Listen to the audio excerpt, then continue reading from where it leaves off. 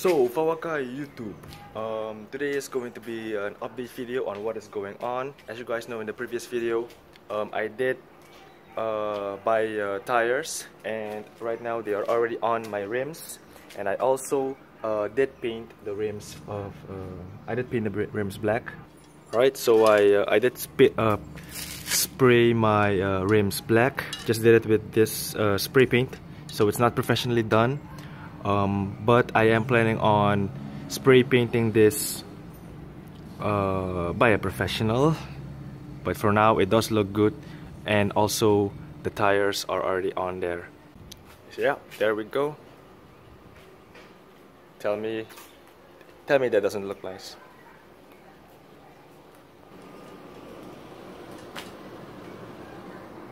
Look at them threads man.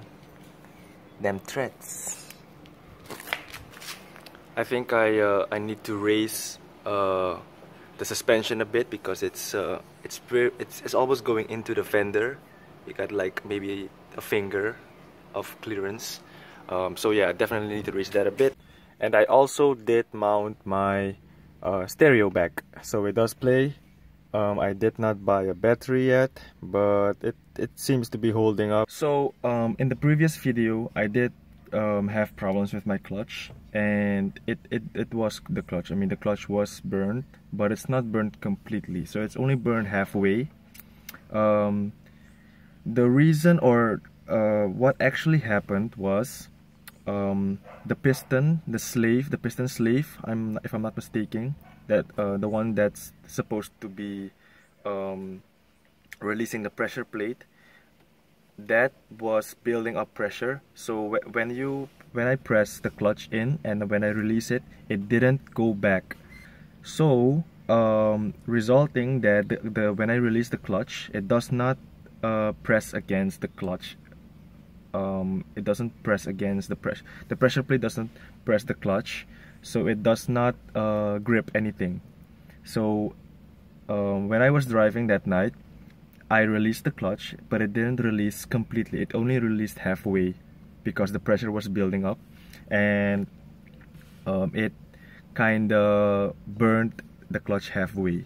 So when I pressed it again and I, I changed gears and I released it, it did not release uh, the pressure plate so um, it didn't move at all.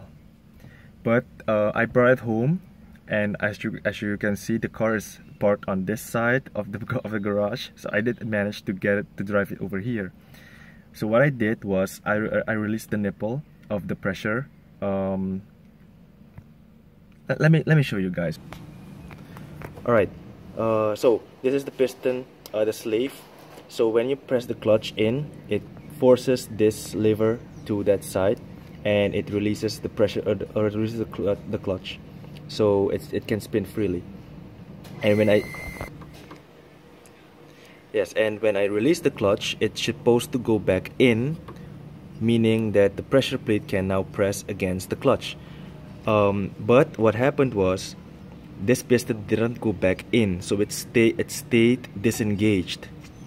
And when it's disengaged the car will not move. I mean it, it's not going to be um, doing anything. So um, I definitely need to check this. So what I did I released this nipple and all the pressure came out. So the, I saw the piston going back in.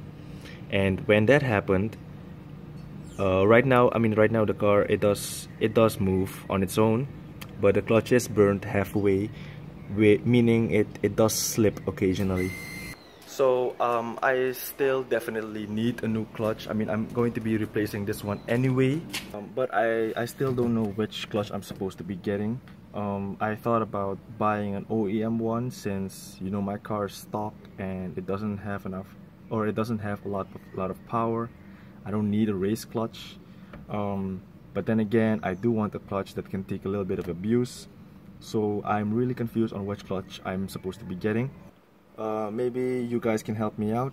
Um, comment comment down below which clutch I should be getting.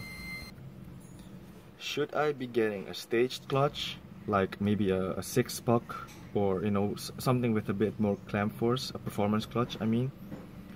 Uh, or should I get an OEM one? I I need your opinions guys. Uh, comment down below. Um, subscribe for the coming updates. Tell me don't forget to comment down below which class I'm supposed to be getting. Yes. Uh, I am going to be ending the video here.